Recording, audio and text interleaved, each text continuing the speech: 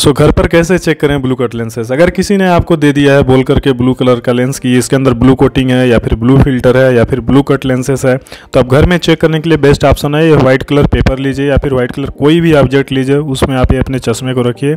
चश्मा रखने के बाद आपको येलो कलर नज़र आएगा एक्चुअली देखेंगे तो हल्का सा स्लाइट येलो नज़र आता है, पूरा येलो नहीं आता है। तो घर में बेस्ट मेथड यही है चेक करने के लिए ब्लू कट लेंसेज को कि हम जो भी हमारा व्हाइट कलर ऑब्जेक्ट है, वो अगर उसके सामने आप रखेंगे अपने चश्मे को तो आपको येलो नज़र आएगा एक्चुअली ठीक है? तो ये है घर में चेक करने के लिए। यही आप डिस्टेंस के पास जाएँगे, जब भी आप डिलीवरी लेते हैं तो वो कैसे चेक करते हैं, इसी वीडियो में मैं आपको बताने वाला हूँ एक्चुअली ठीक है? सो चलिए, वो वीडियो आपको स्टार्ट करके दिखा देता हूँ, दूसरा क्या तरीका है।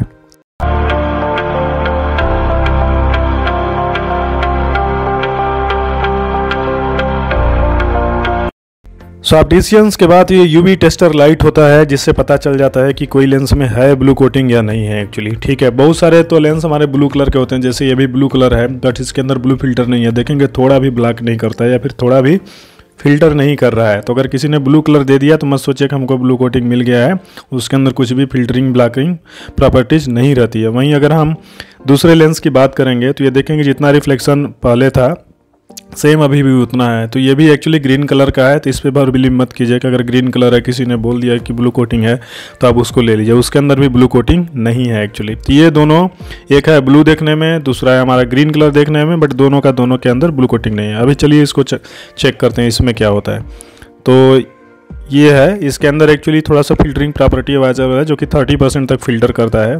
देखेंगे। देखिए, नीचे का जो रिफ्लेक्शन है, वो हल्का सा कम हो जाता है। ऊपर अभी ज़्यादा है। जैसे ये लेंस के थ्रू पास करेंगे लेजर लाइट को यूवी टेस्टर टार्च का लाइट जो होता है तो हल्का सा रिफ्लेक्शन उसका कम हो जाता है नीचे वाले का। इसका मतलब इसके अंदर फिल्टरिंग प्रॉपर्टी अवेलेबल है एक्चुअली ठीक है? तो ये होता है, थोड़ा सा गुड लेंस है, जो कि आप डेली यूजेज में यूज़ कर सकते हैं एक्चुअली ठीक है?